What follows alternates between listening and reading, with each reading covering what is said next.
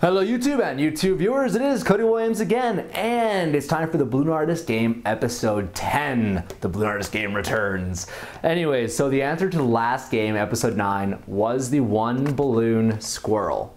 Um, I made a joke about I hate making this in clear, because if you ever want to make a balloon artist mad, ask for a clear squirrel. Because this S twist is so difficult out of diamond clear. I just, it drives me up the wall. So, that is the first one. Now, the next balloon. I feel weird not having a balloon this time. All right. We're gonna need a 260 and a white round. We'll pretend we even did googly eyes with the black round, but whatever. So, white round, 260. Blow up the white round to about three fingers. Tie it off. Split it. And then wrap your nozzle around the center so you don't have to like hold it the whole time. Blow up your 260 to about six fingers of a tail. Tie it. Make a one inch bubble followed by about a four finger loop twist, big enough to send the balloon back through like a saber sword. Starts the exact same way.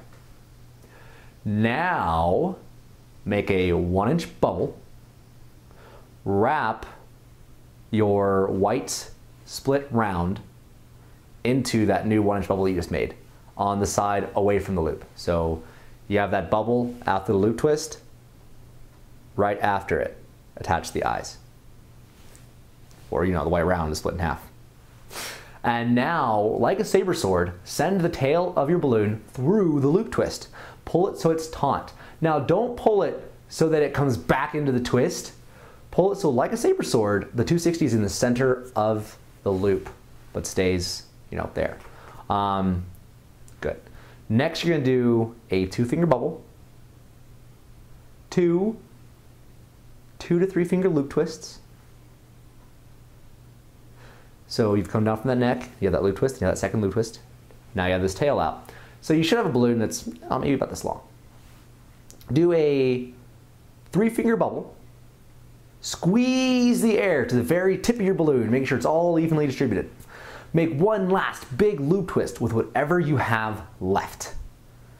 Now, do a split twist to make two more little loop twists out of that big one you had. So you take that big loop you just made, you sandwich it down, twist in opposite directions, you've now got two little loop twists and a little ball in the end. Then like a body, and then two more, etc. Take the nozzle um, from the very beginning of the balloon and bring that down to the very end of the balloon and wrap it around that tail. From here, take a black Sharpie and draw two dots for the eyes and hopefully you know what to do for the mouth. Smile, tongue sticking out far, I don't know.